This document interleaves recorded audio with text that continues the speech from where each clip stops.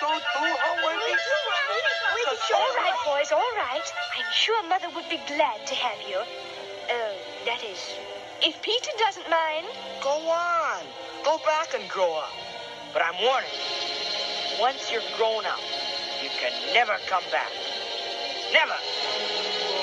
Oh, dear. Well, then, shall we be off? Yeah,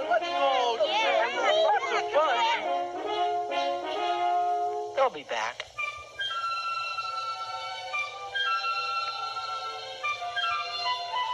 Peter?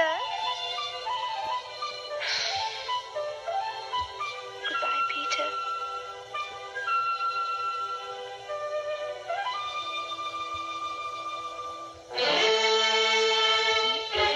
All right, men, take them away.